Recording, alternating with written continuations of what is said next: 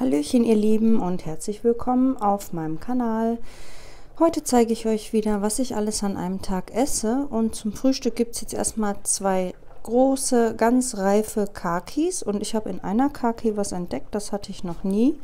Ein großer Kern. Ich weiß nicht, ob man das erkennt, aber der ist richtig hart. Habe ich noch nie gehabt. Hier war der drin.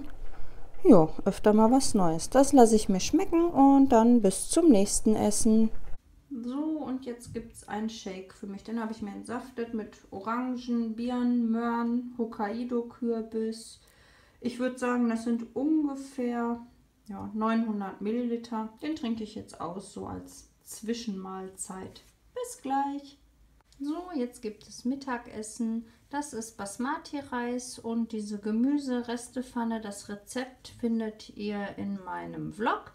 Das werde ich euch mal oben verlinken, das Video falls das jemanden interessiert, wie das gekocht wird. Da sind Bohnen drin und sehr viel Gemüse und dann ist es alles püriert. Bis zum nächsten Essen. So, jetzt sind wir beim Abendessen angelangt. Für heute mache ich mir ein Porridge. Das sind einfach Haferflocken. Also, ich habe jetzt nicht gezählt, aber ja, wenn ich einen so einen Esslöffel nehme, dann sind das so, ja, ich schätze mal 10 Esslöffel Haferflocken. Hm, ein paar Mandeln, vielleicht so 10 Stück.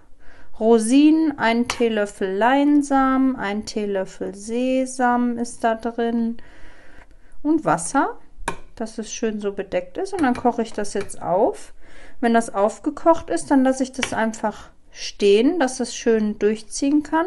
Zimt habe ich noch reingemacht, genau. Ein Teelöffel Zimt ungefähr ist da drin.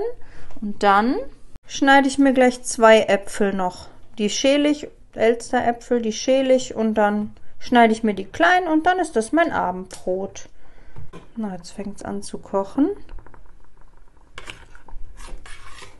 Genau, jetzt ist schon so kalt draußen. Dann schmeckt das richtig lecker, so schön mit Zimt.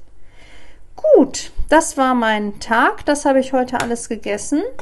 Ich hoffe, mein Video hat euch gefallen. Dann wünsche ich euch noch einen schönen Abend und bis zum nächsten Mal. Tschüss!